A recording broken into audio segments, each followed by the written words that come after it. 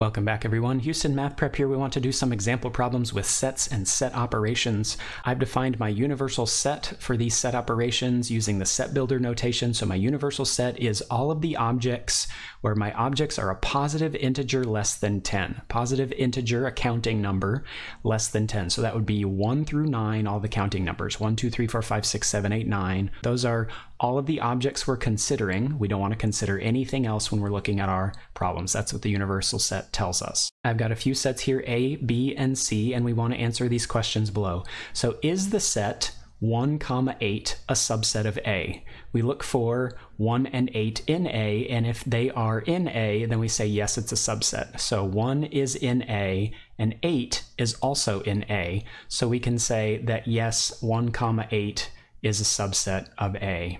Is 1 comma 8 a subset of B? Well, I look here and I have 2, 4, 6, 8 in B.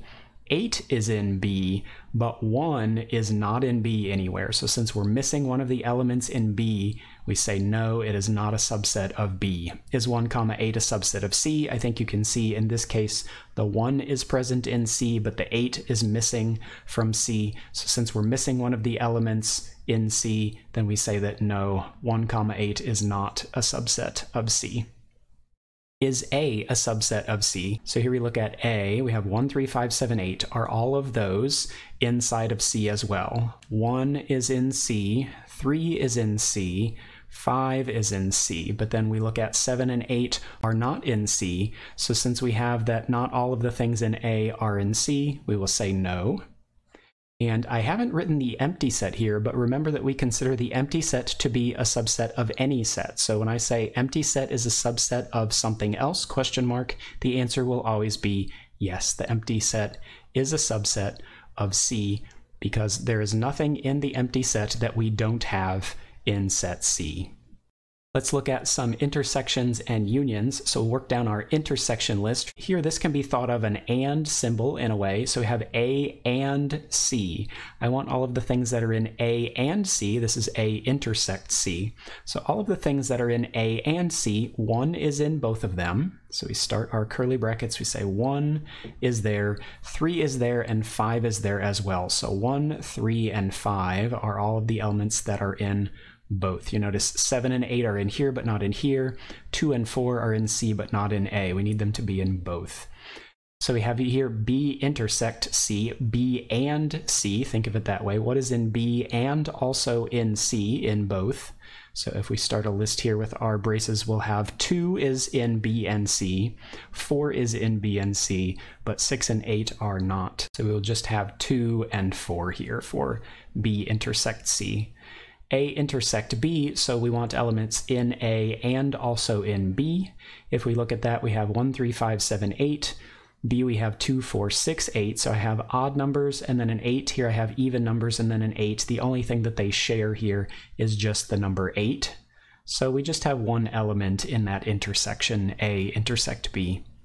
Here, these are unions. You can think of this as OR, but remember it can also be in both. So in A or in C, or both. So things that are in A and things that are in C, we want to include them all. So we look at them and we make a list of anything that we see. Well, C has 1 through 5, so let's go ahead and write those down so we can keep them in order. So 1, 2, 3, 4, 5. And then what else do we have in A? Well, we also have 7 and 8 beyond those. So those are all of the elements that exist somewhere in A or in C or in both. Looking at the next one, B union C, so I want to write down anything I see on either list of B or C. So we go ahead and write down 1, 2, 3, 4, 5 because we have all of those in C, and then look back at B and see anything else we didn't write down. We didn't write down 6 and 8, so we'll need a 6 and we'll need an 8 here. Those are all the elements that appear in the B list, or they appear in the C list, or they appear in both. For A union B, A or B, or both, we have 1, 3, 5, 7, 8, and 2, 4, 6, 8. So let's start our list. So I'm going to get odds from here and evens from here mostly, right? So I get 1 from A, I get 2 from B, 3 from A, 4 from B, 5 from A, 6 from B, I get 7 from A, and I actually get 8 from both of them. And that's the end of my set there. So 1 through 8 for our A union B. Looking here at some complements, we have A complement. So remember, that's all of the things in the universal set that are not in A. So remember, the universal set is 1 through 9 counting numbers. So we want all of these counting numbers 1 through 9 that are not in A. Well, 2 is not in A, 4 is not in A, 6 is not in A, and the only thing 1 through 9 besides those would be 9. So 2, 4, 6, and 9 are the elements that are in the universal set, but they are not in set A. B complement, all of the things that are not in B.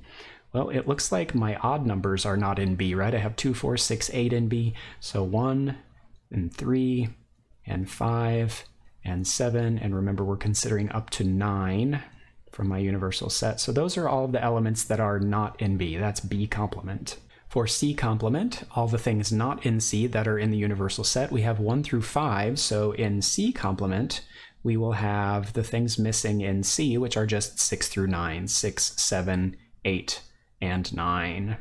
Let's look at these here. We have complements involving unions and intersections.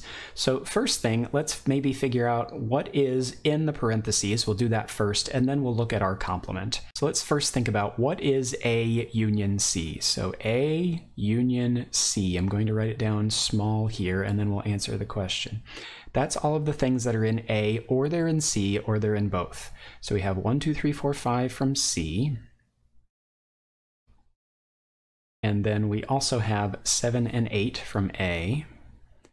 We did this a bit earlier. And so now we want the complement of this. We want all of the things that are not in this that are in the universal set.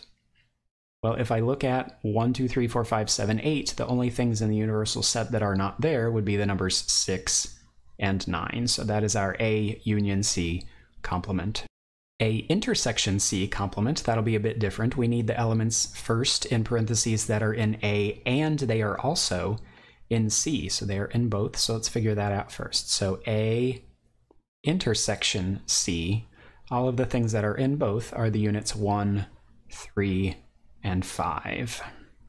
And now we want the complement of that. So all of the things in the universal set that are not in A intersect C. So that would be 2, 4, 6, 7, 8, and 9.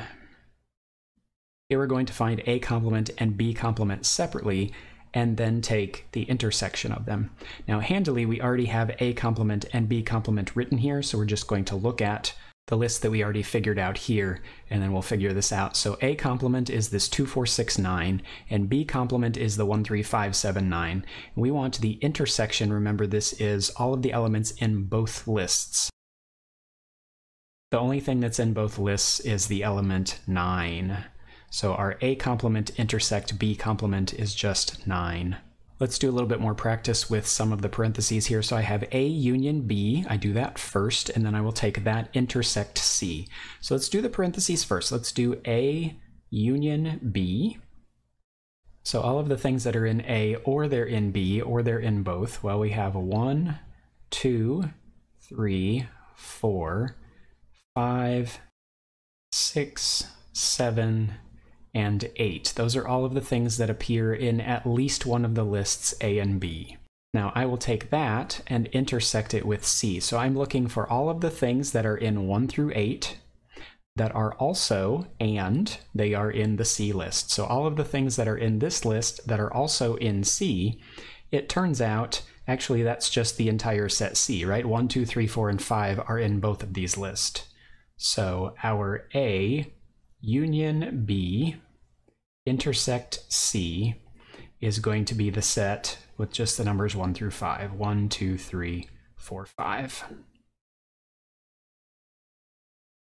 Here we've switched it around just a little bit. We have A intersect C or B. Let's look at A and C first. A intersect C.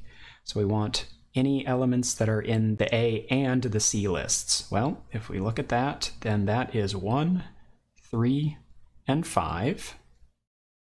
Once we've done the part in parentheses, we will take that union B. If it appears in either list, then we want it. 1, 2, 3, 4, 5, 6, and 8. Okay, so when you see something like this, just make sure that you do what's in the parentheses first, and then whatever you get from that, go ahead and do the next operation with the other set. Let's look at just a couple more examples. I have some new sets here. So my universal set is any element x such that x is a student at your school. So this is the set of all students at your school. So when we read set E, we don't want to read this as all people taking economics. We only are considering from the universal set.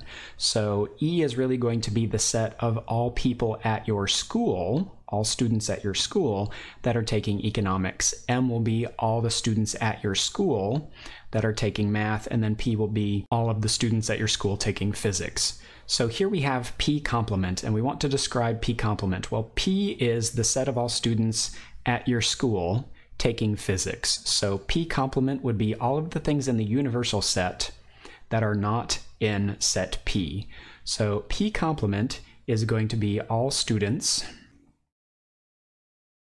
at your school who are not taking physics.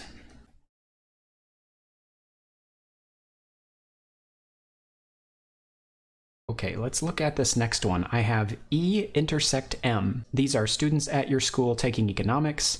These are students at your school taking math. And the intersection says they need to be in both lists. So this will be the set of all students at your school. And they need to be taking both if it is the intersection. So we'll say taking both economics, and math.